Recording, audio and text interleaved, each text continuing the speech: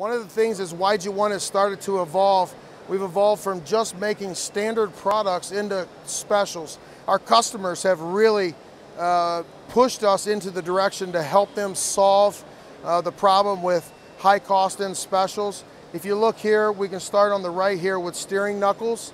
Uh, you'll see a lot of uh, special ISO uh, style tools for going in and metal removal inside the knuckle. And then you have um, HSK 100 uh, tool holders because it's usually on large machining centers um, that are out there. Of course, the three flute drill uh, that's shown there. Yeah, and a lot of things that people don't know about YG, they are a Korea, um, a South Korea, screw that up. I, know, I always get them confused. They are a South Korean based company, but they actually do have a large manufacturing facility here in the United States. Yeah, we're manufacturing here in our plant in Charlotte, North Carolina at our tech center.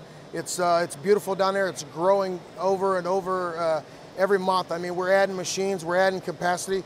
All of our CFRP tools, uh, that is our World Competence Center for, um, for the aerospace industry.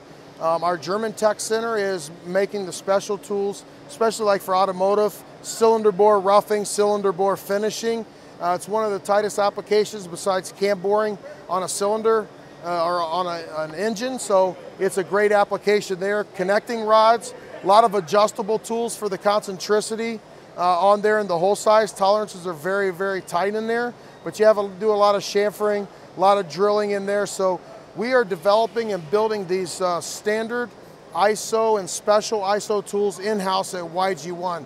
So with the capacities and everything that we have, the technical knowledge that we have on our team, we're able to, to identify by component tools and then optimize the process. We're no longer selling cutting tools to our customers, we're selling solutions. Great.